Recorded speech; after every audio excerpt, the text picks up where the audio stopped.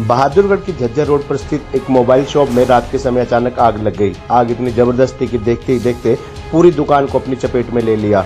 आग लगने से दुकान में रखा करीब 12 लाख रुपए का सामान जलकर राख हो गया। उधर आग लगने की सूचना मिलते ही दमकल विभाग की गाड़ियाँ मौके पर पहुँची और आग पर काबू पाने के प्रयास शुरू कर दिए। काफ़ी देर की कड़ी मशक्कत के बाद आग पर काबू पाया गया, मगर तब तक मोबाइल शॉप में रखा सारा सामान जलकर राख हो चुका था।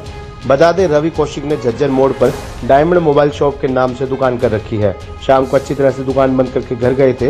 रात करीब ढाई बजे अचानक दुकान से धुएँ के गुबार उठने शुरू हो गए, जो देखते ही देखते आग की लपटों में तब्दील हो गए।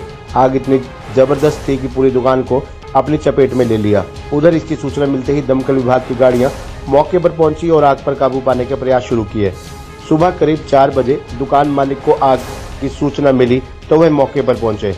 मगर तब तक दुकान में रखा सारा सामान आग की भेड़ चढ़ चुका था।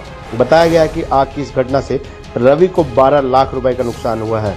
आग से दुकान में रखे दो कंप्यूटर, कीपैड के नए फ़ोन एंड्रॉयड फ़ोन, का काउंटर इन्वर्टर बैटरी के अलावा दुकान में काफ़ी सामान था जो जलकर राख हो गया। शहर थाना पुलिस ने भी मामले की जाँच शुरू कर दी है। आग लगने के कारणों का फ़िलहाल पता नहीं चल पाया है। सर्किट शॉर्ट हो गया था। इसी कारण हमारी दुकान पे आग लगी। दो से तीन बजे के फिर में आग लगी और हमें चार बजे पता चला और जब तक सब कुछ जल चुका था, हमारा 10 से 12 लाख रुपया नुकसान हो गया है।